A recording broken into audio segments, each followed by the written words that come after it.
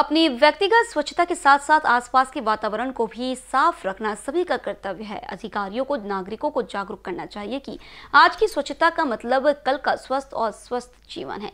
Nagpur smart city के मुख्य कार्यकारी अधिकारी चिन्मय गोजमारे स्वच्छ महाराष्ट्र मिशन दो के तहत आयोजित कार्यशाला का मार्गदर्शन करते हुए बोल रहे थे। स्वच्छ भारत अभियान के स्वच्छ महाराष्ट्र अभियान के तहत शुक्रवार को कविवरी सुरेश भट्ट सभागार रेशम बाग में नागपुर और अमरावती मंडल की संभागीय क्षमता निर्माण कार्यशाला का आयोजन किया गया।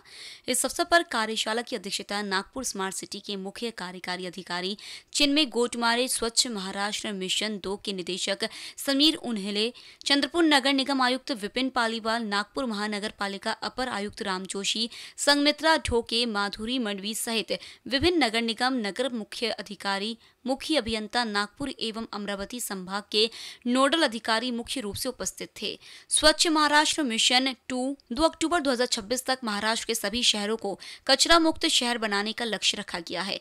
तदनुसार विभागीय स्तर पर क्षमता निर्माण कार्यशालाएँ आयोजित की जा रही हैं। इस कार्यशाला का मार्गदर्शन करते हुए नागपुर स्मार्ट सिटी के मुख्य कार्यकारी अधिकारी चिन्मय गोटमारी ने कहा कि बीमार होने पर हम हमेशा इलाज करते हैं, लेकिन बीमार होने से बचने के लिए सावधानी नहीं बरतते। स्वच्छ भारत अभियान का उद्देश्य सतत विकास है। कैमरा पर्सन राजकुमार मोहर के साथ अभिषेक पांसी बीसीएन न्यूज़ नागपुर।